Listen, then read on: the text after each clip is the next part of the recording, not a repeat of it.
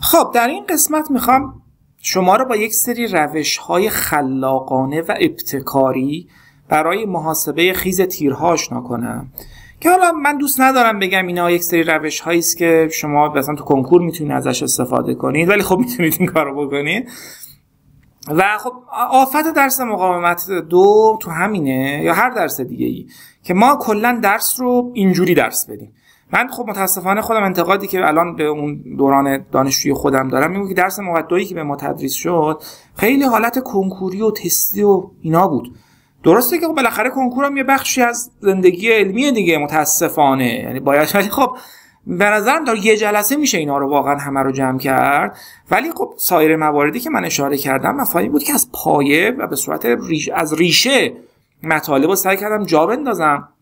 و حالا وقتش رسیده که بله نگاه ابتکارانه و خلاقانه هم به این قضیه داشته باشیم که چقدر نکات جذابی اتفاقا تو اینجا با هم دیگه مرور خواهیم کرد.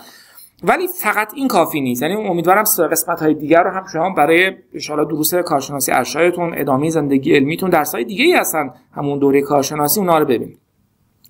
این روش های خلاقانه که عرض کردم به چند تا دسته مثلا میشه تقسیم کرد. یکی روشی است که شما می‌توانید هر یک تیری که تو مسئلهتون وجود داره رو با یه فنر جایگزین کنید. یعنی اون تیری که من دارم رفتار الاستیک داره دیگه. این رفتار الاستیک مثل فنره.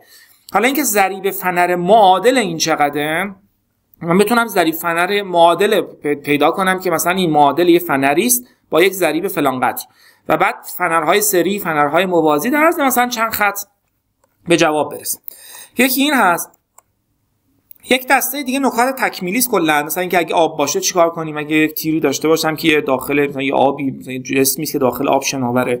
اینا رو باید چیکار بکنیم؟ بحث یک دسته دیگه بحث تیرهای متقارن و پاد متقارنه سیمتریک انتی سیمتریک که بارگذاری من جوری باشه که متقارن باشه. اون موقع میشه با خلاقیت یک جوابهایی برای یک سری نوخیزهایی به دست آورد.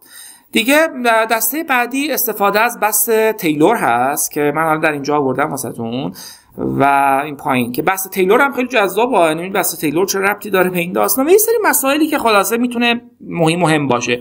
نمی‌دونم نزدیک 20 فکر کنم دو سه تا مسئله مختلف و هر کدوم چند دقیقه من توضیح خواهم داد به شما. 22 تا مسئله است دیگه در که اینا رو با هم دیگه مرور کنیم. من اول فنری رو احتمالا بحث این معادل سازی فنری رو خب پس من اول بحث فنر رو به شما بگم. اینکه من می‌خواهم معادل سازی با فنر انجام بدم. مثلا در قالب مثال هم سعی می‌کنم توضیح بدم اینجا. که یک تیری دارم اینجا که از نوع یک سر درگیر هست و متصل شده به یک تیر دیگری که دو سر ساده است. و در محل اتصال اینها یک نیروی پی وارد شده است. شما می‌خواهید مثلا جابجایی نقطه وسط رو پیدا کنید. خب شما می‌دونید که در یک چنین مسائلی شما این دوتا رو از هم دیگه جدا می‌کنید به جاش یک نیرو می‌ذارید. مشابه آن چیزی که اینجا از این پی رو دارم این الان اینو دارم در حقیقت بحث می‌کنم. که اینجا رسم کردم این شده. و این نیروی آر نمی‌دونم چیه مقدارش. این یکی که کجه در حقیقت اینجوریه. من اینجا رسم کردم از نمای بغل. و نیروی R بهش وارد شده. این ای طولش این یکی L. شما مقدار جابجایی ایجاد شده در محل اتصال در اثر این دو نیرو رو دارید. از طرف دیگه جابجایی ایجاد شده تو اینجا رو هم دارید. از جداول انتهای کتاب می‌تونید استفاده کنید از superposition خیلی استفاده خواهیم کرد برای اینکه سریع به جواب برسیم. خاطر همینه من می‌گفتم توی مسائل امتحانی و اینا گهگاه میگیم شما با هر روشی بجز superposition این مسئله رو حل کنید و پس از اینکه این دوتا رو به دست آورید باید در محل اتصال اینا با هم دیگه بالا پایین میشن دیگه. حالا پایین میرن تو کیس ما. بعد با هم یکی باشه. از اینجا مقدار آ رو به دست میایید و بعد جایگذاری می‌کنید و جابجایی و اینا به دست میاد که من همین کاری کردم که می‌دونید که از جداول انتهای کتاب من گفتم حفظ کنید. PL3 به CI اختلاف اینا میشه پی منهای آر ال به سی آی این باید مساوی باشه. این هم حفظ باشید بد نیست که اگه نیروی وسط وارد بشه آر ال ال طولشه دیگه. ای باید در حقیقت بذارم. به 48 یا این case ی که کردم در حالتی بوده که این دوتا با هم یکسان باشند ابعاد یکسانی داشته باشند. از اینجا آر به دست میاد 16 دهم پی و بعد این آر رو بذارین توی این یا توی این. اونجا می‌تونید مقدار وای رو به دست بیارید. برای اینکه حالت فنری رو متوجه بشید من چی دارم میگم شما می‌توانید بگید این تیری که اینجا هست مثل یک فنره. این یکی هم مثل یک فنر دیگه است. مثل انگار که فنری داره متراکم میشه که این نیرو داره به این دوتا فنر با, با سختی های مختلف وارد میشه. که این دوتا فنر رو با هم دیگه جمع باید بکنید. طبیعتا این نیرویی که وارد میشه یه بینه یه بارم به فنر موازی هن دیگه. مثل این میمونه که اینجا یه فنر دارم. و اینجا هم یه فنر دارم به این حالت. اینجا یه فنر این یه فنر. این نیروی پی داره وارد میشه. یه مقدار اینو متراکم می‌کنه. یه مقدار اینو متراکم می‌کنه. اینجا هم این نیرویی که وارد میشه یه مقدار اینو خیز میده یکم اینو خیز میده. می‌دونید که در این حالت باید با هم دیگه جمع بکنم. و سوال اینه که این کا چیه؟ خب نکته خاصی ما شما می‌دونید رابطه فنر خطی چیه؟ نیرو میشه کا ایکس در این اگه من این تیر یک سر درگیر رو داشته باشم نیروی وارد میشه پی ال به 3 آی. من می‌خوام به صورت رابطه نیرو مساوی کا ایکس درارم ایکس که میشه همون جابجایی دیگه. وای این میشه ایکس اینم که نیروی منه. پس این چیزی که اینجا هست اگه ببرم اینور تساوی چون نیرو مساوی کا ایکس اون میشه ضریب سختی فنر معادل. 3 ای آی به ال برای تیر یک سر درگیر پس این کا یکی که می‌بینی 3 ای آی به ال هست. این یکی هم همین جوریه شما این نیرو رو به اف این هم جابجایی است. تراکمی است که مثلا در فنر ایجاد شده. اینو به معکوس کنین 48 ای آی به ال حالا ای دیگه چون این طولش ایه این یکی ایه این هم میشه این یکی. همین راحتی. اینا رو جمع کنید یعنی در عرض مثلا نصف خط ذهنی هم حتی شاید بشه بهش جواب داد. از اینجا شما می‌تونید حالا در داخلش مگه الو برابر با ای بذارم همین 51 ای آی. این این چیزی که با روش قبل به دست آوردم. اینجا در عرض نصف خط با معادل سازی با فنرها همین رابطه همین جوابی که اونجا بود رو به دست آورد. این هم که عرض کردم که چجوری میشه که روش فنری چجوری است معادل می‌ذارید و به این حالت به دست. مثلا یه مثال دیگه اگه حل بکنیم این هر مثال یک نوآوری خاصی در داخلش وجود داره. یک تیر یک سر درگیر هست یک نیروی پی بهش وارد شده و یک فنر در زیرش قرار داره که یک فاصله خالی بین این فنر در حالت آزادش. و نوک تیر من وجود داره. وقتی نیرو رو وارد می‌کنم این میاد پس از اینکه یه فاصله دلتا صفر رو طی کرد فنر شروع می‌کنه به متراکم شدن و یک چنین چیزی رو من خواهم داشت. این مثلا تیر منه که فنر منم تا اینجا متراکم شده است. حالا به شما گفته که مقدار جابجایی اون چقدر مثلا اون پایین چقدر و خب شما می‌تونید دو جور مسئله رو حل کنین. یعنی الان نکته اینجاست که این رسیده به این حالت تراکم. ما اون حالت تابع زمان اولیه رو بررسی نمی کنیم. ما در اون حالت نهایی رو داریم بررسی می‌کنیم که این تیری که من دارم خم شده نیرو وارد شده خم شده رسیده به یه حالت نهایی. اون رو دارم بررسی می‌کنم شما می‌گویید که مقدار جابجایی که در اثر اعمال نیروی پی وارد میشه و اون نیروی آری که الان اینجا وارد شد. یعنی این تیری که در حالت خم شده هست. یه آری از طرف فنر بهش وارد میشه. به این حالت که عکس عمل اون آر به فنر وارد میشه. و یه نیروی پی هم که من وارد کردم. پس پی منهای شبیه بالایی است دیگه. این همین شبیه این پی منهای آری که اینجا گفتم اینجا هم هست. پی منهای آر ال به 3 آی این مساوی بشه با مقدار دلتا صفر به علاوه تراکمی که تو فنر ایجاد شده. دلتا صفر به علاوه هر چه مقدار تراکم تو فنر ایجاد شده؟ خب اینجا شکل پایین. یه نیروی آری به یک فنری خطی داره وارد میشه. خب آرکاوم دیگه. پس آرکاوم تراکم داخل فنر. به علاوه اون دلتا صفری که gap اینجا هست باید بشه پی منهای آر ال به 3 از اینجا شما می‌تونید آ رو به دست بیارید که من نوشتم و بعد جاگذاری کنید در داخل هر کدوم که خواستین. یک مقداری برای جابجایی نوک تیر به دست بیارید. یا اینکه مجددا از حالت فنری استفاده بکنین که بگویید دوباره دو تا فنر دارم. اتفاقا اینجا معادل سازی با فنر من اتفاقا یکیش فنره واقعا. این بالایی دو تا تیر داشتم که من اومدم به جای اینا دو تا فنر خیالی قرار دادم. اینجا اتفاقا من یه فنر دارم اون یکی رو من یه فنر می‌ذارم جاش که باز هم با هم دیگه موازی هستن نه اینچه با هم دیگه جمع میشن. کا که سختی این یکیست سه ای آی تقسیم بر السر یه قرار شد حفظ کنیم. مقدار ضریب فنری سختی فنر معادل اون تیر یک سر درگیر هست. ولی تفاوتش تو این صورت کسره که این کا دلتا صفری که اینجا وارد شده اون مقداری است که وجود نداره. یعنی اگه اینجور بگم برای اینکه متوجه بشید این میگم خیلی خلاقانه است. یعنی شما اینو در عرض یک نگاه باید جوابش رو بتونید بگید. به شرطی که نکاتش رو بتونید بفهمید. و حفظ باشید که این سی آی السا اینا رو حفظ باشید. شما می‌گویید اگه دلتا صفر صفر بود یعنی این فنر من دقیقا چسبیده بود به اینجا. در اون حالت جواب چی بود؟ خب می‌گفتم یه نیروی تقسیم بر دو تا جمع اون پی تقسیم بر یعنی این باید صفر می‌شد. پس این چیزی که اینجا وارد شده هر چقدر این دلتا صفر بیشتر باشه این مقدارم بزرگتره. و یا انگاری که این کادلتا صفر مقدار اون نیروی ناشی از تراکم فنری است که وجود نداره. کا دلتا صفر. کا چیه؟ کا ضریب سختی. کا دلتا صفر. میشه این فاصله ای که فنر وجود نداره. و کا دلتا صفر میشه اون نیرویی که به اون فنری که اونجا نیست اگر می بود وارد می‌شد. پس الان یا اینجوری هم می‌تونیم سوال کنیم. هر چقدر که دلتا صفر بیشتر باشه به نظر شما جابجایی نوک تیر بیشتر میشه یا کمتر میشه؟ یعنی فرض کن اینجا یه میلیمتر گپ باشه یه بار هم مثلا 3 میلیمتر گپ باشه. چون فنر عاملی است که مخالفت می‌کنه در مقابل جابجایی. در نتیجه هر چقدر که دلتا صفر بیشتر باشه عامل مخالف کمتره این راحت تر خم میشه.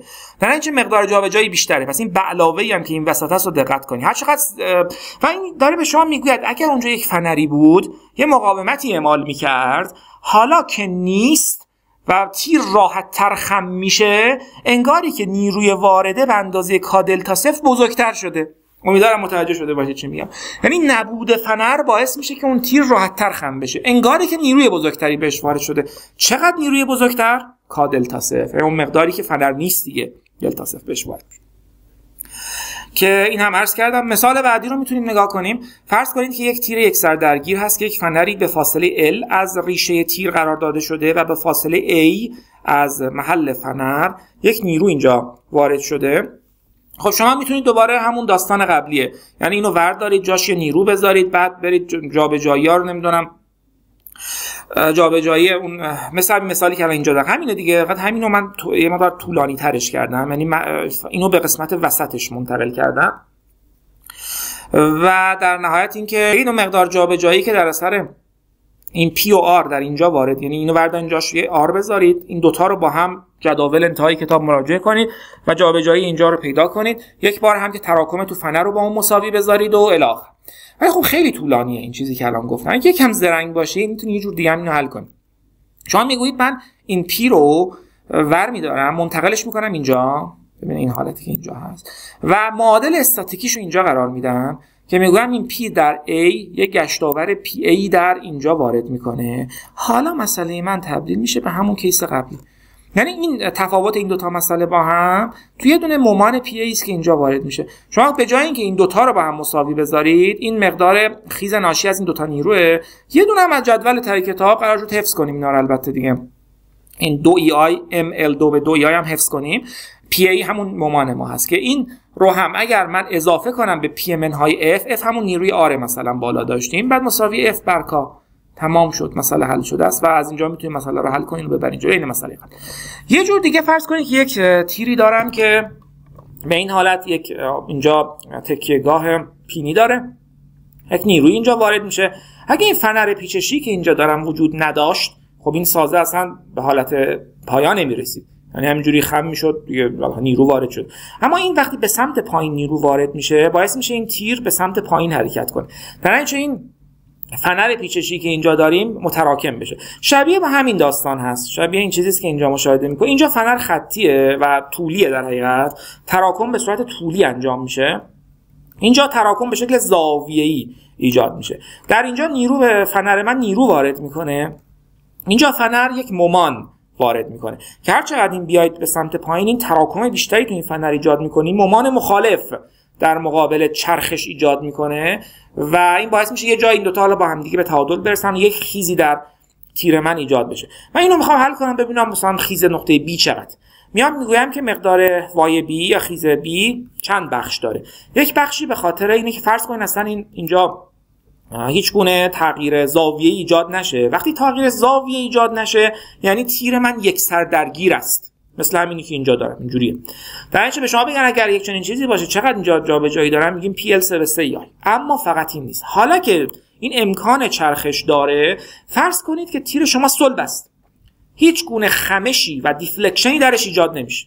در اون صورت اگه یه چنین فنری داشته باشم چقدر این به صورت مستقیم کاملا من این حالا کجو کلی کشم کاملا صاف استریت چون صلب فرض کردم. چقدر این میاد پایین؟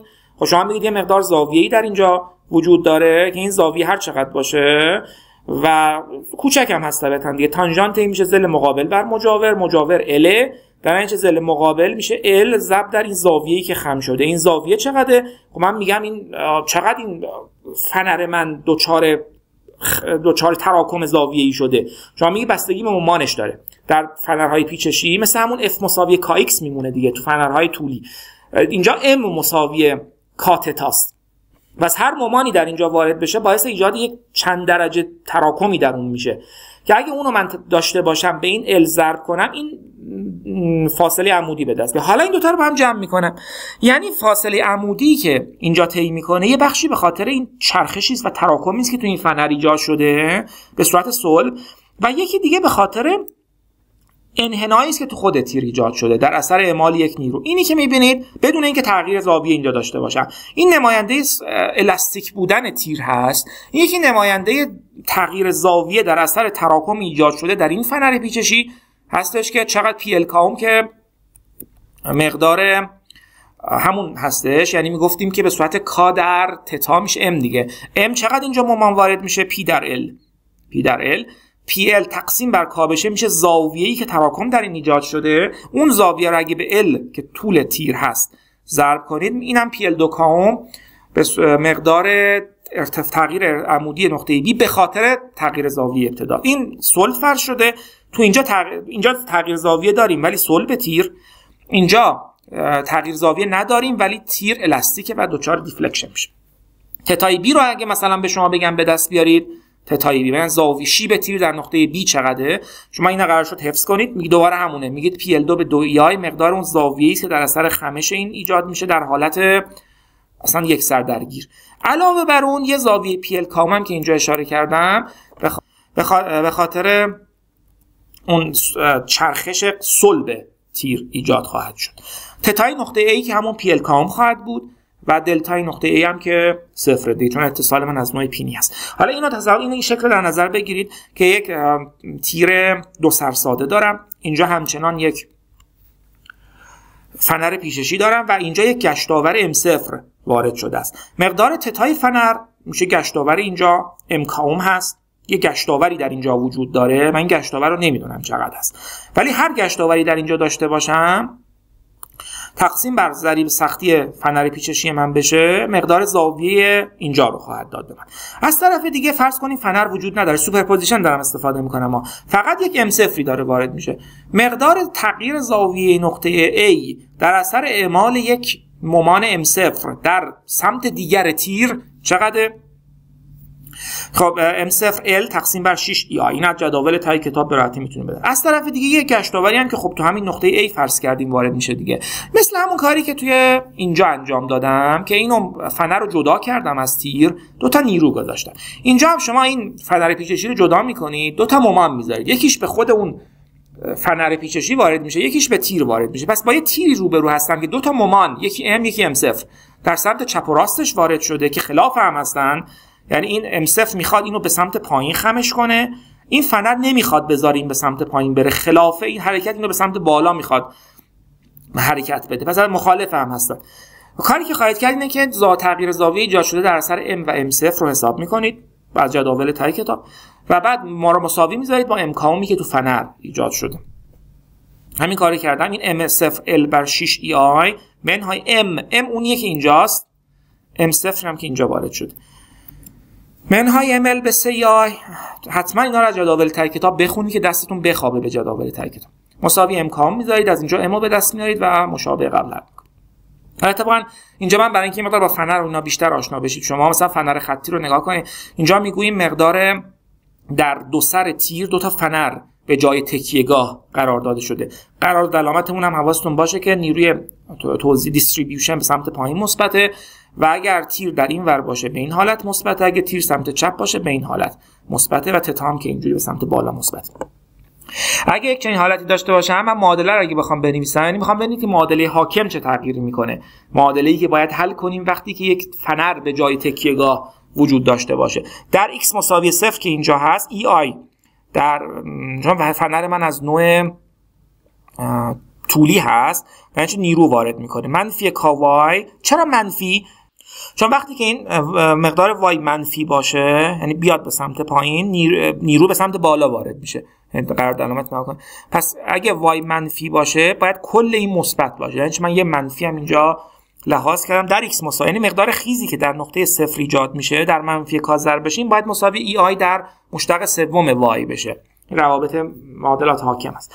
این ور تصاوی وای منفی این دفعه برش منفی ایجاد می‌کنه. اگه به سمت پایین حرکت کنه به قرار علامت اگه دقت کنین مقدار نیرویی که ایجاد میشه به سمت بالاست و این به سمت پایین مثبت بوده. در اینجا اگه وای اینجا به سمت پایین بیاد مقدار نیروی منفی ایجاد می‌کنه. در اینجا نیازی نیست اینجا من علامتی بذارم. وای منفی همون کلش هم میشه منفی دیگه طبق چیزی که داریم.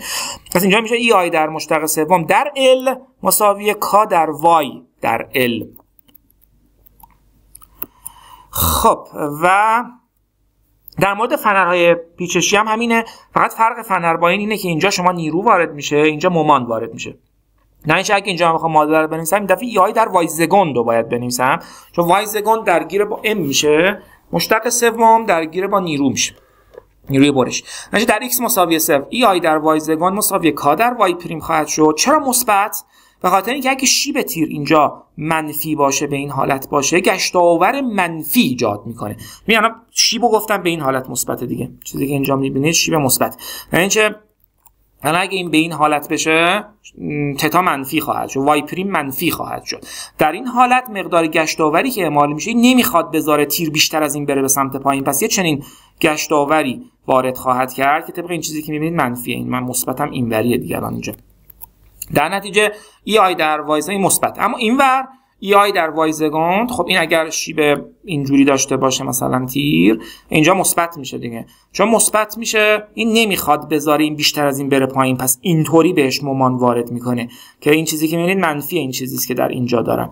در نتیجه باید یه منفی بذارم که زاویه y زگوند y پریم مثبت باعث ایجاد گشتاور منفی بشود. اینا هم میگم اگه معادله حاکم می‌خواستید حل کنید اینجوری باید حل کنید. وقتی که یه مسئله دیگه که فرض کنید این دفعه نیرو وسط تیر وارد شده باشه. شما مثل این الان همون کیسی که شبیهش هم اتفاقا داشتیم الان چند دقیقه قبل من اینجا فکر الان بتونید به این سوال جواب بدید که چجوری مثلا اینجور. حالا این کیس هم تقریبا همونه دیگه. این نیرویی که تو این آری که وارد شده بود وسط تیر بود. اینو باید چجوری حل کنم؟ خب در این حالت شما میایید میگید مقدار خیزی که در نقطه بی ایجاد شده نیازی نیست برید نمی‌دونم از جداول برای حالتی که نیرو در وسط وارد شده است پیدا کنید. شما با داشتن همون PL3 به سیایی که گفتم حفظ کنین می‌تونید مقدار خیز تیر اینجا رو به دست بیارید چه جوری شما میگید من اگه فرض کنم این تیکه که اینجا هست نباشه اصلا. این تیکه وجود نداشته باشه. در آن صورت مقداری که در اینجا جابجایی ایجاد میشه و مقدار اون زاویه‌ای که اینجا خواهم داشت مثلا اگه من بکشم. یه زاویه‌ای دارم. اینو می‌تونم حساب کنم. حفظیم دیگه. یکیش PL3 به 3 آی بود یکم PL2 به 2 آی بود. اما این نکته بعدی اینجاست که این قسمتی که خارج از محل اعمال باره اصلا صلبه دیگه. یعنی با نیروی بهش وارد نشده. انگار اصلا تکون نمی خم نمیشه. جایی که تحت تاثیر این نیرو قرار می‌گیره این قسمت داخله که دچار دیفورمیشن میشه. قسمت بیرون صلب عمل می‌کنه. در نتیجه مثلا مثلا چه می‌دونم مثلا یه چیزی رو بچسبونید به نوک ناخونتون انگشتتون رو خم کنید. خب اون چیزی که به نوک ناخون شما چسبیده اون صلب عمل می‌کنه دیگه. و اینجا به خاطر این فقط کافیه شما بدونید که اولا این نقطه وسط چقدر اومده پایین. خب طبعا نقطه بی هم همونقدر اومده پایین. و بعد بدونید زاویه تیر اینجا چقدر این زاویه رو اگه داشته باشین مثل همون کاری که تو قسمت قبل کردیم شما این فاصله هم که می‌دونید ای دیگه. این زاویه رو اگر به ای ضرب کنیم به این تتا رو اگر به ای چون این صلب بوده مثل یک تیر مستقیم عمل می‌کنه. این تانژانتش هم با خودش یکی بگیریم. ای در تتا میشه. تمام. یعنی در عرض همین نصف خط من تونستم جابجایی نقطه اینجا رو به دست بیارم. اگه یک مومانی وارد بشه همونه دوباره. فرض کنید که این تیکه اینجا وارد شده مقدار جابجایی اینجا میشه ml 2 به 2 آی و مقدار شیب اینجا میشه ml به آی که یه دونم a اگر این تیکه ایه. اگه a بهش ضرب کنم می‌تونم مقدار جابجایی نقطه بی رو به دست بیارم. اگر که وزنه ای که به یک تیری وصل شده در روی سطح یک سیال شناور باشه. خب بحث کردیم در بحث مکانیک سیالات که این آب این نماینده سطح آزاد آبه. مثلا یه لیوانیه چون این آبشه. این هم رو شناوره. به یک کابلی وصله که به یک تیری وصل. می‌خوام ببینم چقدر این دوچار دیفورمیشن شده کلا داستان ما اینه که خود همون آب هم به شکل یک فنر کار می‌کنه. و نیرویی که از طرف آب به این وارد میشه اسمش بود نیروی شناوری. فصل دوم مکانیک سیالات یک.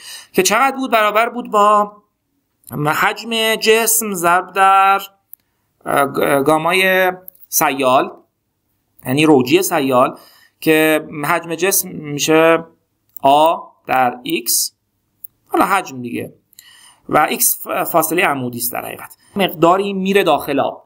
سوال اینه که چه مقدار میره داخل آب؟ همون قدری که تیر deflection پیدا کرده. یعنی اون مقداری که رفته توی آب اگه x بزنه مثل یه فنری میمونه که به اندازه x متراکم شده.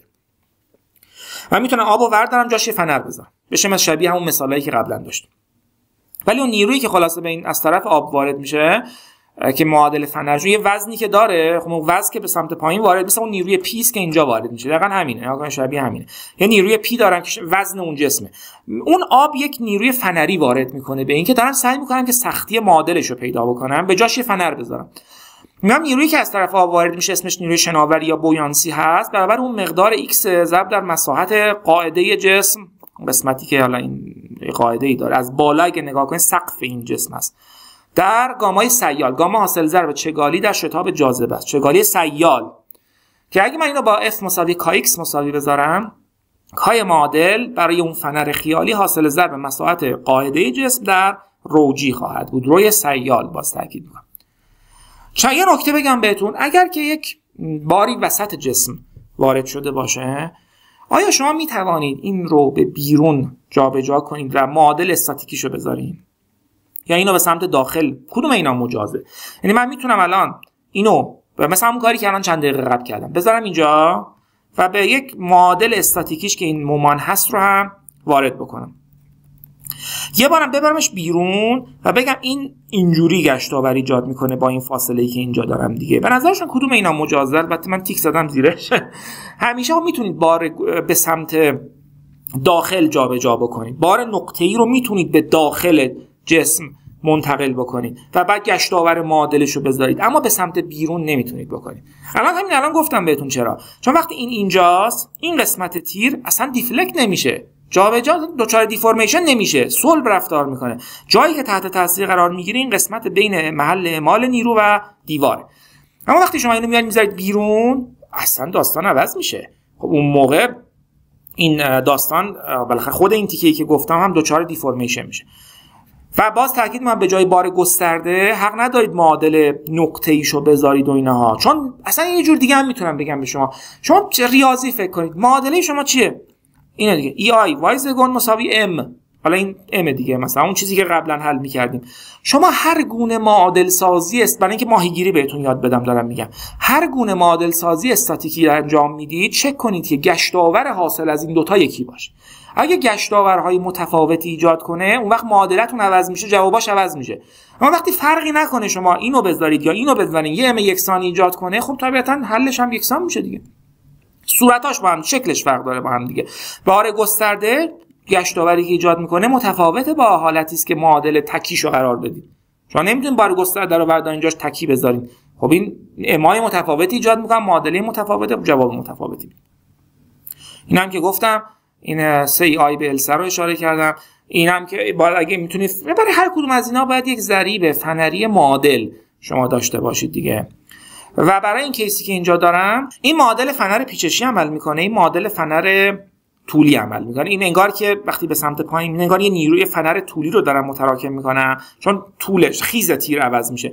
این مومانی که وارد میشه انگار که یک فنر پیچشی اینجا هست که در مقابل این مومان داره مقاومت می‌کنه. چون وقتی فنر رو متراکم می‌کنین یه مقاومتی در مقابل جا به جایش اعمال می‌کنه. این تیر هم اینجا دقیقا داره یک مقاومت در مقابل تغییر زاویه اعمال. پس یه معادل فنر از نوع پیچشی این از نوع طولی که ضریبش هم اینجا دارم دیگه. شما باید با توجه به زاویه‌ای که این خمش ایجاد می‌کنه اینو به دست بیارید. نکته بعدی نقطه عطف تیر بود که اشاره کردم در نقطه عطف وایزگون مساوی صفر در اینکه ام باید برابر با صفر باشه و مومان وارد صفر. و فقط نیروی برشی وجود خواهد داشت. جایی که وی صفر باشه مشتق سومه. منحنی الاستیک کرو تیر اون تغییر شکل تیر باید صفر باشه. مورد بعدی که با هم دیگه مرور می‌کنیم تقارن در تیرها هست که داریم سعی می‌کنیم که بدون توجه به جدول تا حد امکان بدون جدول حتی از اون جداول هم استفاده نکنیم. یعنی بحث اینه. یعنی یه قدم داریم پا رو فراتر می‌ذاریم. که یه جور معادل سازی کنیم سیستم رو بهش میگن reduced سیستم یعنی سیستم کاهش یافته. تبدیلش بکنیم به یک چیز کاهشش بدیم به چیز ساده تری که بتونیم باش مسئله رو حل بکنیم. خب این فعلا دارم در مورد تقارن صحبت می‌کنم. اینو نگاه کنید فرض کنید چنین چیزی به شما دادن که شما می‌خواهید این طولش اله اینجا هم درگیر اینم درگیر حالا یه فاصله افتاده اینا هر جفتش درگیر هستن. این که حالت شماره یکه. من می‌خوام اینو کاهشش بدم به یک سیستمی که می‌تونم حالا کارش بکنم یه کاریش بکنم و به جوری جوابی واسش به دست بیارم. اینو من دقت کنین اگه من جابجاییش جابجاش کنم یه چنین تیر یه چنین دیفورمیشنی خواهد داشت. این نکتهش اینه که شما نقطه وسط تیر جایی که شیب تیر صفر میشه. خب شیب تیر یعنی کجا شیب تیر صفر می‌شد؟ یه تکیه گاهی به من بگید که اگه تیر در اون تکیه گاه قرار بگیره شیبش صفر بشه. خب میشه یک سر درگیر دیگه. پس مثل این میمونه که من اینو از اینجا یک سر درگیرش کنم چون شیبش صفر دیگه. و به جای اینکه بگم نیرو وسط اعمال شده بگم نیرو اینجا به سمت بالا وارد شده.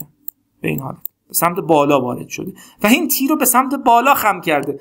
توی کمانش هم ما همین کارو می‌کنیم ما تو فصل کمانش هم ان برید نگاه کنین. شبیه همین داستان اونجا هم هست. و حالا متوجه میشید این سیستم چرا اینجوریه. اولا وسطشه ال دوم یعنی من نصف این دیفورمیشن رو نصفش رو نظر گرفتم. چه تیری کشیدم من. وسطش رو در نظر گرفتم. اینجا رو تکیهگاه کردم که میشه اینجا. و این نیرویی که اینجا وارد می‌شد به سمت بالا حالا به سمت پایین فرق نمی‌کنه. اون deformation رو من می‌خوام به دست بیارم دیگه. چه به سمت بالا چه به سمت پایین. چقدر P دومه؟ چرا P دومه؟ به خاطر اینکه نیروی تکیهگاهی به خاطر تقارن این P باشه هر دو طرف P دوم وارد میشه دیگه. پس این P رو ور میدارم اینجا رو تکیهگاه می‌کنم از نوع یک سر درگیر. و بعد یه نیروی پی دو دوم حالا به سمت پایین یا به سمت بالا در اینجا قرار خواهم داد. این دوتا با هم دیگه یکسان هستن معادل هستن. جابجایی این نقطه در این سیستم با جابجایی اینجا در این یکسان. یا مورد بعدی همون نکته است که اشاره کردم. شما اگه اینو می‌خواین حل کنین می‌دونی جوابش چیه دیگه؟ یه تیری که وسطش نیروی پی وارد بشه. PL3 به 48 ای فرض کنیم ما اینو نمی‌دونیم می‌خوایم خودمون به دست بیاریم. یه چنین جابجایی خواهم داشت. این وسطش رو از نوع یک سر درگیر در نظر گرفتم و این P که دارم P دوم از هر دو طرف وارد میشه. انگار که یک نیروی P دوم به سمت. اصلا اینو نگاه کن همینو. اینی که من کشیدم کاملا شبیه اینه دیگه. انگار از پایین بهش P دومی وارد شده رفته به سمت بالا. طولش هم L دومه. حالا شما اینو حفظید که اگه نیرو به یک تیر یک سر درگیر وارد شه میشه PL 3 به 3 EI. نیرو نیرویی که دارن P دومه اینم L دوم. به توان 3 میشه همون 48 که قبلا داشت یک مورد دیگه قرینه سازی کردن هست و نصف کردن جواب. یعنی چی؟ فرض کنید که یک تیر دو سر ساده دارم که تو نصفش یک بار گسترده ای وارد شده. در نقطه A من می‌خوام ببینم جابجایی چه جوری است. خب میام طولش هم اله میام میگم اگه این کلش باشه یعنی من عین همین رو بردارم بذارم اینور چه این حالتی میشه. خب من اینو بلدم الان. اینو می‌خوام به کمک این بده. این حالت همون ردیوس سیستمی است که اشاره کردم. اینو اگر شما بلد باشید می‌توانید به راحتی اینو از این به دست بیارید. چه جوری اگه کم فکر کنید اینو می‌تونید نصفش کنین. بگید یه بار این سمت راستی باشه یه بار سمت چپی باشه. به نظر شما اینا فرق می‌کنن با هم؟ که این مقداری که اینجا وارد شده این ور وارد بشه یا این ور خب یکیه دیگه؟ چه برای نقطه A هیچ فرقی نمی‌کنه که این بار گسترده سمت چپ وارد بشه یا سمت راست وارد بشه. در من اگر اینو داشته باشم بدونم جوابش چیه کافیه جابجایی که به کمک این تو نقطه A وارد میشه رو تقسیم بر دو کن. به همین برسه این میگن قرینه سازی و نصف کردن جواب. به خاطر اینکه این بار کلی من متشکل از دو تا تکه مشابه همه که هر جفتش یک جابجایی یکسان در نقطه A القا می‌کنن. اینجا نصفش می‌کنن. مثلا یکیش اینجا 5 QL4 به 384 ای آی که 768 ای آی نکته سی این اگه شما داشته باشین و تقسیم بر دو کنین مثلا 384 از جدول داشته باشین. یه دونم تقسیم به دو هم بهش ضرب کنین یکی میشه. یا این حالت رو در نظر بگیرید که یک تیر دو سر ساده دارم که نیروی P یک جایی به فاصله A از سمت چپ وارد شده طولش L ه من میام این همون کاری کردم قرینه سازی می‌کنم. یعنی نقطه یه نیروی P هم اینجا وارد می‌کنم. حالا می‌گویم این نیروی P به همون اندازه ای در نقطه A جابجایی ایجاد می‌کنه که نقطه این P سمت چپی وارد متقارنه. ای وسط. پس اگه این حالت جدیدی که دو تا نیرو وارد شده رو من داشته باشم تقسیم بر دو کنم می‌تونم جابجایی A در حالتی که فقط یه نیرو وارد شده رو به دست بیارم. حالا این جدیده چون متقارنه این قبل عمل کنید. میگید این در اثر وارد شدن اینا یه چنین چیزی میشه. میام اینو اینجوری در نظر می‌گیرم و چون دو تا نیرو P وارد شده تکیهگاه من اینجا میشه P. یعنی نیروی P به سمت بالا و اینم حفظیم دیگه. و یه نیروی P هم که اینجا وارد میشه. نکن یه پی اینجاست یه پی هم که اینجا تو تکیهگاه وارد میشه. طولش ال دوم. نصف شدن نظر می‌گیرم خب اینو بلدیم به راحتی حساب کنیم که نیرو چجوری. اگه وارد چه مقدار این جابجایی ایجاد میشه. ولی هر آن چیزی که اینجا به من جابجایی بده یعنی این مثلا به این حالت میره بالا این مقدار دقیقا همین مقدار اینجاست. نه این به سمت بالا. انگاری که تکیهگاه اینجاست نیرو اینجا وارد شده. همین رو تقسیم بر دو بکنم می‌تونم حالت اول خودم که فقط یه نیرو بود و به دست بیارم. شبیه این اینجا هم هست باز. یه تیری دارم که یک نیروی پی اینجا وارد شده در نقطه A. یک بارم یک تیر دیگری دارم که در نقطه B نیروی NP وارد شده. حالا یادتون هست می‌گفتیم جابجایی القا شده توسط نیروی پی در نقطه B. اصل تقابل مکسول بود اسمش. با جابجایی اعمال شده در نقطه A در اثر اعمال بار در نقطه B یکیه. حالا این چون n برابر اعمال شده n برابر بس دیگه برابر. اگه این یک بود یه بار دیگه جابجایی اعمال شده در نقطه B در اثر بار نقطه A. با جابجایی اعمال شده در نقطه A در اثر بار B برابر اگه این یک باشه. حالا چون n پی وارد شده در نتیجه خب n برابر اون میشه دیگه. n برابر y نقطه B در اثر یک در نقطه یک. یعنی اینجا در case شماره یک جابجایی که در B اعمال شده ضرب در n اگه بشه میشه جابجایی که در case شماره دو در نقطه A ایجاد شده. N برابر y b1 میشه y a2 در case شماره دو. خب case شماره دو بزرگتره دیگه جابجاییش. یکی رو اگه n به اون اولی ضرب بشه دوم میشه. شبیه این باز اینجا هست. نصف کردن جواب فقط فراموش نشه دیگه من تاکید کردم. شما یه چنین چیزی دارین می‌خواین اینو حساب بکنید چیه. یعنی دوباره اینجا یه دونم اینورش قرار میده دیگه من نکشیدم. عین همینو اینور می‌کشید بارتون بارگذاری متقارن بشه و بعد اون چیزی که در اینجا به دست میاد تقسیم بر دو خواهید کرد. حالا اگه این دوتاش باشه شما میگید من این دیفلکشنی که اینجا دارم و این ورش رو چون می‌دونم وسطش متقارن صفر می‌زنم یه دونه بار خودم وارد میشه. یه عکس العمل تکیه گاهی هم که برابر L در W3 دقت کنید. L در W چون دو تاست دو تاست. این به سمت بالا وارد میشه. اینو اگه بتونید حساب کنید تقسیم بر دو کنید همون میشه که پایین است. این مثالم که قبلا اشاره کردم که اینو می‌تونید شما با دو تا فنر موازی با هم در نظر بگیرید اینا با هم جمع کنید این تکراری است اینو نگاه کنید برای مثال این از اون تیرهای اوورهانگ بهش می‌گفتیم که از یک سمت ادامه پیدا کرده به سمت بیرون. شما اینا می‌تونید با اون روش های متعددی که من درس دادم به حل کنید یا بیاید بگید این قسمتی که اینجا هست مثل یک فنر پیچشی عمل می‌کنه. چون در اثر این نیرویی که وارد میشه اینجا یه زاویه اعمال میشه که این مثل یک مقاومتی در مقابل تغییر زاویه در اینجا عمل می‌کنه. اصلا فنر یعنی چی؟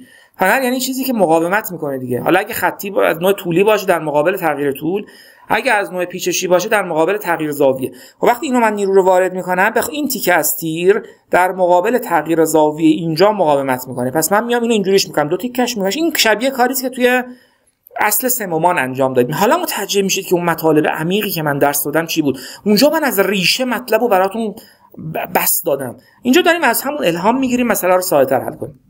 می‌گویم اینا رو مثلا جدا می‌کنم. اون دهان می‌گفتیم تیرهای با دهانهای مختلف سه تا مومان کنار هم دیگه قرار تیرهای کانتینیوس اسمش رو میذاشتیم چند دهانه. که در اینجا ام قرار میدم و یه عکس العملش هم اینجا قرار میدم. اینا رو هم بندازید هم دیگه رو خنثی می‌کنن همین حالا من اینو M ی که اینجا هست رو به صورت یک فنر پیچشی قرار میدم که حالا این شبیه میشه به همون case ی که الان چند دقیقه قبل.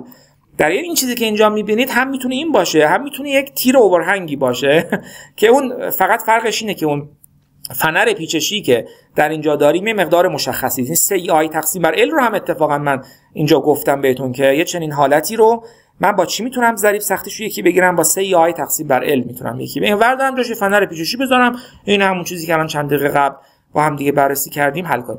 یه سری تیرهای پاد متقارن داریم که اینها قرینه از نوع پاد متقارنن. یعنی چی؟ anti-symmetry یا هستن. فرض کنید همین case رو داریم. اینجا نیروی P به سمت بالاست این به سمت پایین خب این متقارن هست ولی متقارن نیست. در اینجا بهش میگن anti-symmetric این الان. و این نوع جابجایی که اتفاقا تو کمانش هم باز شبیهش رو داریم این وسطش مطمئنا جابجایی صفره. به میگن anti-symmetric توی تانسور توی ماتریس هم اینو داریم. ماتریس symmetric یعنی اونی که متقارنه. anti-symmetric یعنی اونی که قرینه همن. یعنی هر چقدر میاد پایین این میره بالا. تو ماتریس ها قرینه یعنی اینکه مثلا اگه ماتریس 3 در 3 باشه عناصر روی لولا صفر باشن. اینایی که خارج لولا هستن هم قرینه هم باشن. به میگم ماتریس anti-symmetric اینجا همونی که وسط صفره اونایی که خارج از وسطن قرینه همن. این لغتشون میگن که خوب یاد بگیرید شما. اینجا وای صفر هست. تتا ولی صفر نیست البته. مثل حالا چه جوری من اینو می‌تونم حل کنم؟ می‌تونم ور دارم به جاش یک اتصال پینی بذارم اینجا. و چون اتصال پینی هم دقیقا همینه دیگه. وای صفره ولی تتاش مسا... صفر نیست. و این دوتا رو قرینه هم بزنم. میگم هر چی که اینجا به دست آوردم قرینش در اینجا وجود داره. حالا بعد اینو میشه با این مدل کرد دیگه. که گفتش که خب این الان پینی رو بذارم اینجا نیرو وارد مثلا این وری رو من کشیدم الان. یه سر درگیر یه اتصال پینی نیروی P به سمت پایین وارد شده مثلا رو حل کن. یا اینو نگاه کنید یه سازه است که یک نیرو به سمت بالا یک نیرو به سمت پایین هست که بارگذاری شما از نوع پاد دقت کنید که این بارگذاری میگم از نوع پاد متقارنه فقط قبل از اعمال بار. اگه بار اعمال بشه این چه شکلی میشه به نظر شما؟ یه deformation ی پیدا می‌کنه. دیگه مت... پاد متقارن نخواهد بود. پس از اینکه deformation اعمال شد دیگه پاد متقارن نخواهد بود. ولی اینجا مجددا صفره این وسط. و این نیمه ای که اینجا می‌بینید من رسم کردم به این حالت. و اینجا هم چون به هم دیگه اتصال جوشی هست 90 درجه است. اون زاویه اینجا باید 90 درجه باقی بماند. پس این دیفورمیشنی که هست این اومده اینجوری خم شده اینجوری. و یکی هم که این بالاست اینطوری. اینجا این دو هم اینجا وارد شد. اینو می‌تونم با این معادل سازی کنم. اگه فرض کنم اتصال پینی نبود. حالا یه مسئله دیگه. من یک چنین چیزی داشتم. همین به این حالت. که اینجا نیروی وارد شده بود. اینجا. خب چه تر چه جوری باید مسئله رو حل می‌کردم خب اینجا ما می‌گوییم که اول شما قسمت عمودی رو در نظر بگیرید. یعنی بگویید این نیرویی که اینجا وارد شده یک تراکم طولی ایجاد می‌کنه که من کاری بهش یک مومان ایجاد می‌کنه. یعنی هندسه من این الان. نیرو اینجا وارد این قسمت این دو این افقی رو فراموش کنیم کلا.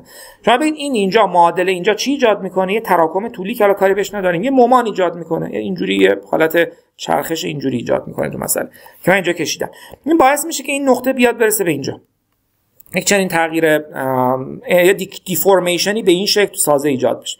و بعد چون اینجا 90 درجه هست حالا نیروی بعدی رو اعمال کنید. بگید یک اینجا یک تیری دارم. که کاملا صلبه و حالا دیفورمیشن دیگه ای هم اینجا اعمال شده. اینا رو با هم دیگه جمع کنید. یه مقدار این به سمت راست اومده و یه مقدار هم به سمت پایین میاد. پس جابجایی که در اینجا ایجاد میشه یکی به خاطر این انحنایی که تو این عمودی ایجاد شده میره به سمت چپ و یک زاویه ایجاد میشه. چون این عموده اینم یه مقدار میاد زاویه پیدا. اون زاویه هم با توجه به شیب تیر اینجا می‌تونید تعیین کنید که این زاویه چقدره. و بعد یه سری دیفورمیشنی هم در اثر خود الاستیک بودن این تیر افقی ایجاد میشه. و سه تا چیز دارم. یه مومان به سر یک تیر یک سر درگیر وارد شده یه جابجایی افقی ایجاد کرده و یه تغییر زاویه شیب اینجا ایجاد کرده. و یکی همین که دیفورمیشنی است که در خود این ایجاد شده به خاطر الاستیک بودنش. مورد بعدی در مورد مثال بعدی حالا اگه بخوایم بگیم اینجا هست که اینم قبلا داشتیم البته که اگه اینجا یه نیرو وارد شه تو L4 یه بارم نیرو تو L دوم وارد شه. جابجایی ایجاد شده در L دوم در case یک. جابجایی ایجاد در وسط در این حالت یک. برابر است با جابجایی ایجاد شده در L چهارم در case شماره دو. این در L چهارم در کیس شماره دو. مثال دیگه یک تیر overhang داریم دوباره. یا نیروی P وارد شده در اینجا و می‌دونم به اندازه یک میلیمتر رفته بالا. اینو می‌دونم.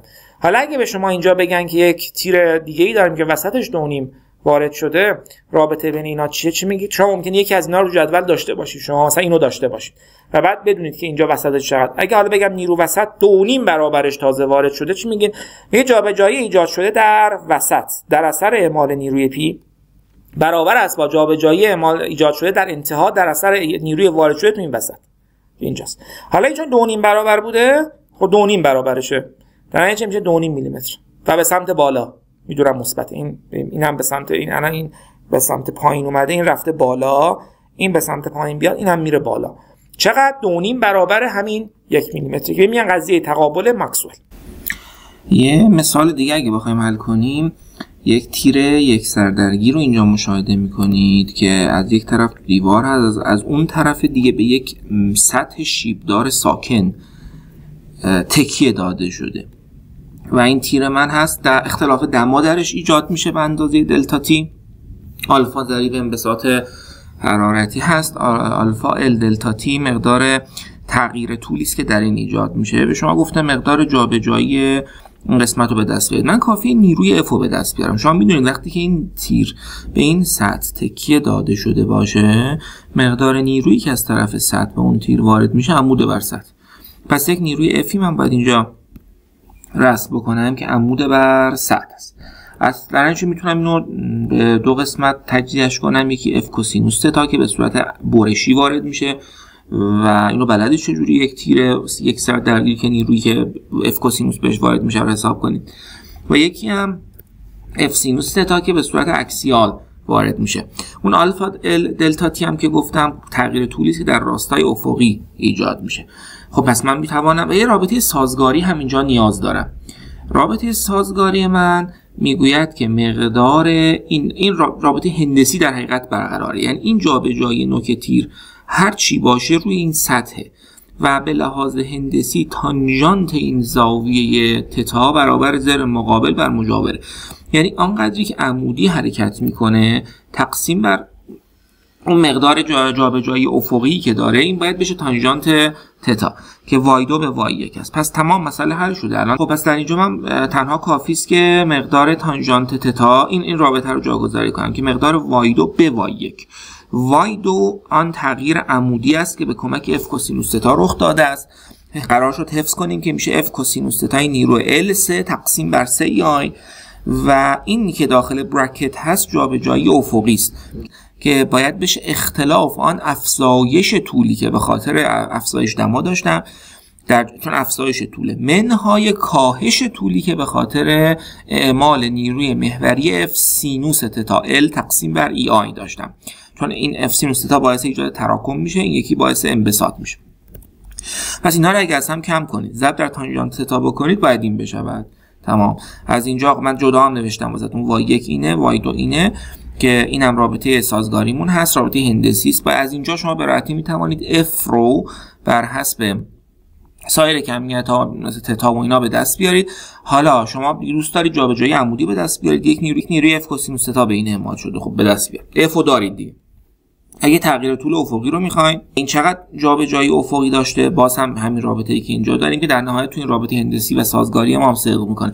حالا می‌تونه اینجا یک فنر پیچشی قرار بگیره. خب قبلا اینو حل کردیم شبیه شد اون وقت گشتاوری که تو اینجا ایجاد میشه میشه اف کوسینوس تا در طول تیر که ال هست و بعد شما باید تو روابطی که می‌ذارید بحث مقدار اثرات اون فنر پیچشی رو هم تو بازی لحاظ کنیم چون شبیهش رو قبلا حل کرده بودیم که به نظرم می‌تونیم ازش رد بشیم. ولی بر جابجایی عمودی شما یک بخشش به خاطر صلب در حالت صلب به خاطر این تغییر زاویه‌ای که تو این فنر پیچشی خیالی من اینجا حالا گفتم اگه باشه لحاظ میشه اونم اضافه می‌کنید و اینم به دست میاد یه مثال دیگه اینجا.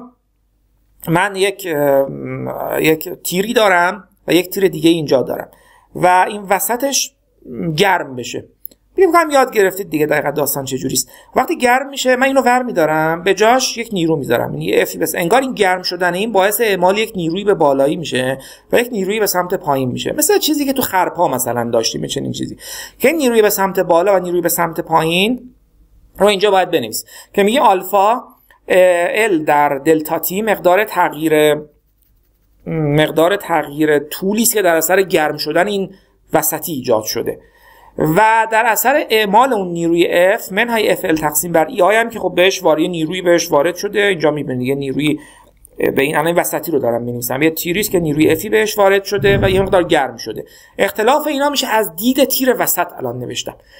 از دید تیرهای افقی که دارم این یه مقدار به سمت بالا رفته. FL3 به 3 آی این هم به سمت پایین رفته وسطشه مثلا این دیگه. FL3 تقسیم بر 48 آی که این دوتا باید با هم دیگه یکی بشه یعنی اون مقداری که تیر رفته بالا.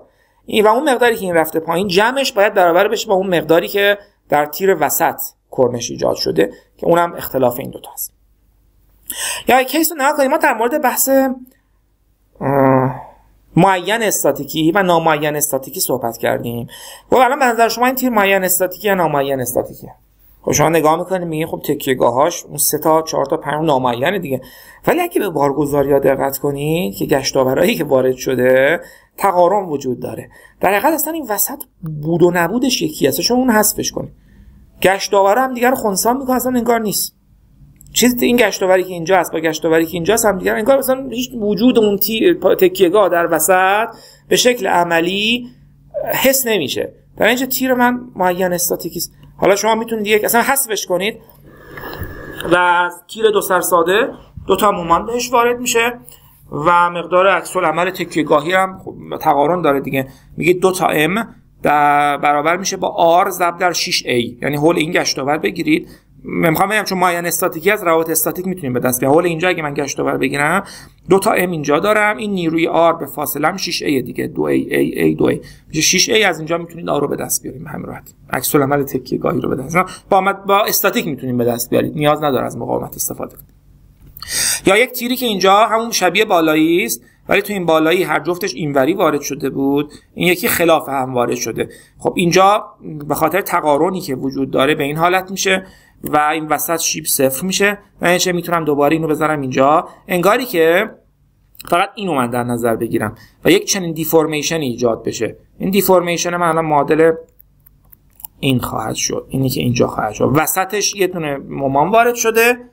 اینجا هم وسطش یه مامان وارد شده. اینجا یه سر درگیره شیبش صفره. اینجا هم شیبش صفره و الاخ. یه نکته جذاب در مورد بسته تیلور به شما بگم که خیلی جذابه. یعنی شما شاید باورتون نشه الان من چیزی که دارم میگم. فرض کنید که من این روابطی که اینجا دارم و نه یه تیری درگیره یه نیروی پی اینجا وارد شده طول علم که طول تیر هست. اینجا عکس العمل ها چون معینه PL اینورش P به سمت بالاست. خب شما می‌دونید که مقدار نیروی برشی معادله با Y مشتق سومه. و مومان معادل مشتق دوم Y. از طرف اینجا چون شیب صفره Y پریم صفر صفره و مقدار Y هم صفره. یعنی شما مقدار خود Y و مشتق مرتبه اولش دومش و سومش رو در این نقطه دارید. حالا با یه سری اضافاتی دیگه ای آی و اینا هم بغلش هست. من اگر بیام برای اینکه جابجایی این نقطه رو به دست بیارم از بحث تیلور استفاده کنم. یعنی با داشتن اطلاعات تیر در این نقطه یعنی خودش و مشتقاش. من دارم ادبیات درس محاسبات عددی رو تکرار می‌کنم. اما ویدیوی مربوط محاسبات عددی که من بحث تیلور رو توش گفتم اگه نگاه کنید دقیقا همینه. شما در یه جای دیگری با داشتن اطلاعات در یک جای متفاوتی بتونید مال یه مقدار وای رو به دست بیارید. مقدار وای خب همون خیز تیر دیگه. و من اینجا می‌دونم خودش و تا مشتق مرتبه 3 چنده. من این کار اگه بکنم به نظر شما این جواب تقریبیه یا دقیقه؟ بس رو بنویسم بگم وای در اینجا میشه وای نقطه صفر.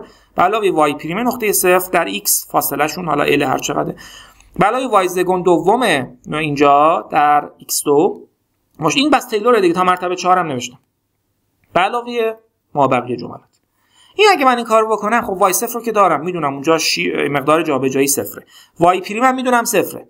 Y seconde از رابطه بالا M به EI می‌ذارم. M ش هم که PL ه هیچی بلدم چیه. و مقدار Y مشتق سوم هم که تو همون P هست دیگه. و می‌دونم مشتق سوم V به EI پس P به EI خواهد شد. مشتق چهارم هم که نماینده بار گسترده بود که صفر دیگه. اونم صفر. پس این این صفر ما بقیه جملات هم که نداریم دیگه. یعنی وقتی از مشتق سوم به بعد همه صفر میشن من یکشو نوشتم بقیه هم صفر. من اگه اینو جاگذاری کنم در عین ناباوری وای زگوندو که میشه PL و دقت کنید که PL منفی ها. یعنی منفی PL باید بذارم. با توجه به قرار علامتی که الان گفتم. به دو هم که اینجا خب دو فاکتوریل بود. دارم. گذاشتم در x2 حالا اتفاقا چیزی که من دارم میگم اصلا ربطی به نقطه ته نداره. یعنی در هر نقطه این وسط من می‌تونم مقدار Y و بگم به شما. هر نقطه دلخواهی با فاصله x از این نقطه. حالا اگه شما توش L بذاری جوابتون به دست میاد. و این جمله Y مشتق سوم هم که میشه مقدار p که به سمت بالا مثبته. و P به EI طبق این فرمول. P به EI میشه مشتق سوم سه فاکتوریل میشه 6 x 6 هم بقیه هم صفر. این اگه کم تر تمیزش کنیم می‌رسید به همون رابطه ای که از حل دقیقا به همون رابطه می‌رسید مو نمی‌زنه باش. که اگه من اینجا x رو بذارم l همون پی ال به 3 آی به دست من منفی هم میشه دیگه چون به سمت پایینه. این چرا اینجوری شد؟ یعنی سوال تو ذهن شما ایجاد میشه مگه بسته تیلور تقریبی نیست؟ و چرا اینقدر دقیق جواب داد؟ اینجا من بر شما ارجاع میدم به همون محاسبات عددی که اونجا اشاره کردیم. که بسته تیلور زمانی که جواب مسئله شما چند جمله ای باشه دقیقه. و اتفاقا جواب ما چند جمله است. این جواب مسئله اینه دیگه. این چند جمله است؟ X این دو اگه ضرب بشه میشه x چند جمله مرتبه سه.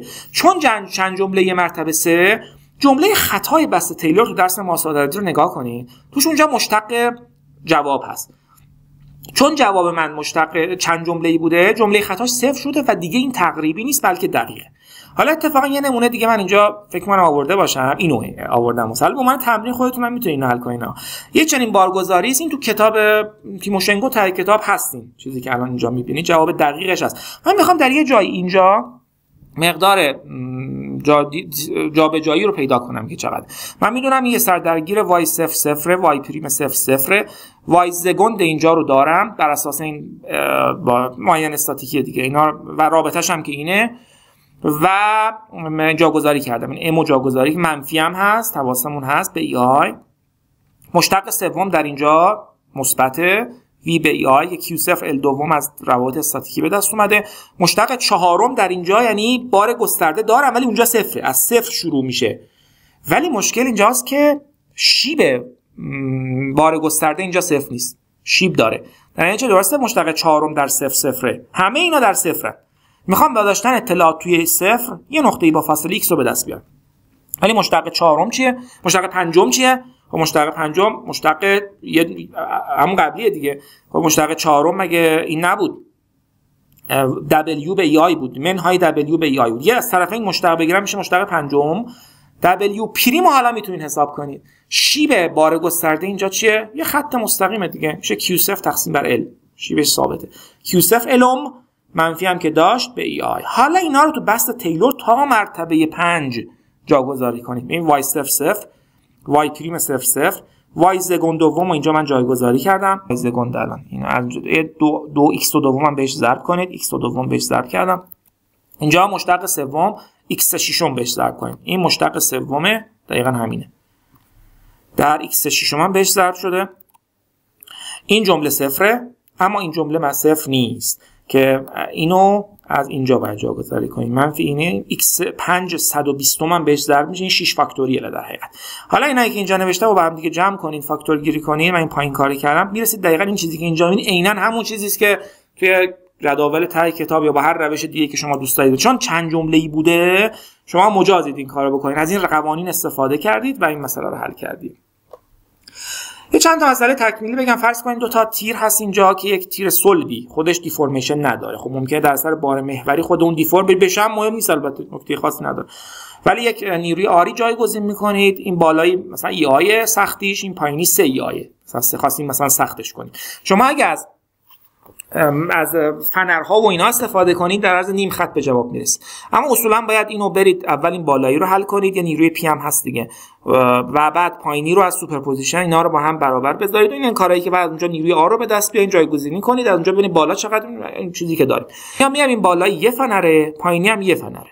پس این نیرویی که وارد شده به صورت موازی هم هستن دیگه. با هم جمع شده. باید میشه بکنید یعنی. این بالایی میشه 48 ای آی به قرار شد حفظ کنیم دیگه. این جابجاییش میشه پی ال به 48 ای آی در اینچه کای معادلش میشه 48 ای آی به این پایینی هم میشه 48 در 3 ای آی به ال چون خودش گفته این 3 ای آی. این دوتا با هم دیگه جمع خواهند شد و انگاری که نیروی من به دو تا فنر موازی وارد شده. تمام. دیگه من نیاز نیستم برم اون آ رو اینا رو حساب کنم و چیکار کنم و اینا. حالا یه کیس حتی فراتر اگه این وسطی سولد نباشه یه فنر باشه. در آن صورت این P وارد شده EI 3 EI همون قبلیه. اگه من بخوام حل کنم باز می‌تونید بکنید ولی باید به جای نیرو برید جابجایی این فنر هم پیدا کنید و از این کارا. میایید میگید من سیستم معادل فنر اینو بکشم. اگه این وسطی نبود این 48 EI به L 3 بود اینم 48 ضرب در 3 EI به L 3 بود این این نبود این اینجا نبود. این فنر وسطی نبود. همون قبلی می‌شد. اون دوتا با هم موازی جمع میشه تو مخرج قرار داده میشه. حالا این فنری که وارد شده است به شکل سری با این پایینی عمل می‌کنه. به شکل مو... کلا این دوتا پایینی با همدیگه به شکل موازی و بالایی عمل می‌کنه. چرا؟ چون وقتی من نیرو رو وارد می‌کنم یه بخشی از نیرو صرف ایجاد دیفورمیشن تو این میشه که تو این فنر لحاظ شده. اون مابقی صرف ایجاد دیفورمیشن در هر جفت اینا با هم دیگه میشه که باید به صورت سری با هم دیگه رسم بشن. یا این نقطه ای که محل نیرو داره وارد میشه دقیقا همینجاست. این نقطه است. این نقطه از یه طرف با این فنر در تماسه که این تیر بالاست از طرفی هم با این دوتای پایینی در تماس هست که با هم دیگه سری هستن و این مقداری که میاد در ادامه این پایینی دچار دیفورمیشن میشه که در اینجا سری هستن با هم دیگه. حالا شما بلدی چجوری اینا رو معادل سازی کنید دیگه. اول این دوتا رو با هم دیگه به صورت سری معادل می‌کنید که این میشه. کادو و کاسه هست دیگه. این کاسه این هم کادو. این, این کادو 48 سیاری این کاسه. این کادو در کاسه در کادو علاوه کاسه. این دوه ها بعد افتاد.